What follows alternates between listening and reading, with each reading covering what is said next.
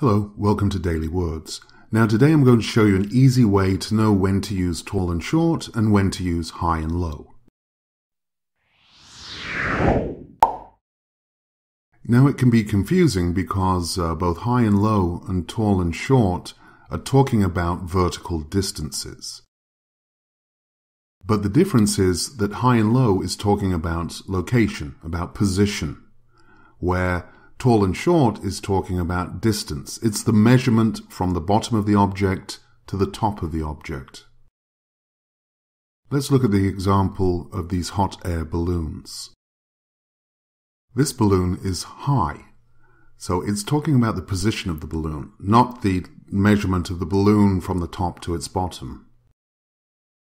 And this balloon is low. Now let's look at this lovely couple here. The girl is tall, so we're talking here about the measurement of her from her feet to the top of her head.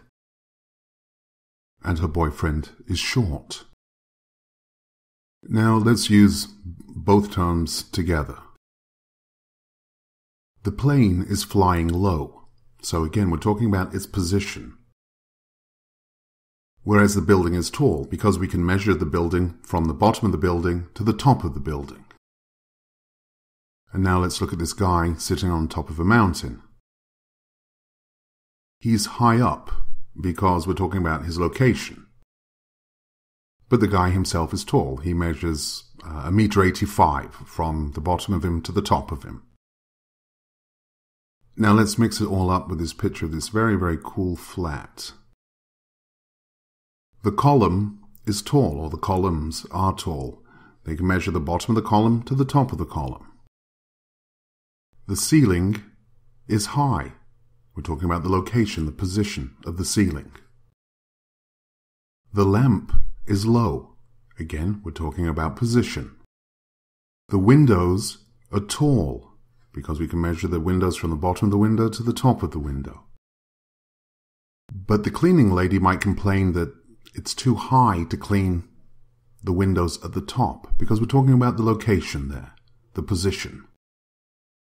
The building across the street is very tall. We can measure the building from the bottom of the building to the top, so it's tall. This other flat across the street, we could say something along the lines of, hmm, that's a tall building. I wouldn't want to go out on the balcony because the balcony is too high. Thanks for joining me today. I hope you found this video useful. Um, please subscribe if you haven't already. Leave comments. Uh, share this with your friends. Leave a like if you like it. And uh, don't forget to check out my Facebook page. Thanks a lot. See you next time.